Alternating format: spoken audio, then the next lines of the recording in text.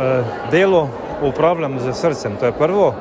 eh, ponosen sem na svoj kraj, eh, pa na tiste, ki mi pomagajo v društvu, v turističnem društvu, tudi sem član kulturnega društva, tudi tam sem bil do nekdavne, nek, nekaj časa nazaj zelo aktiven, v društvu vinogradnikov, tako da kar nekaj svojega prostega časa vlagam v,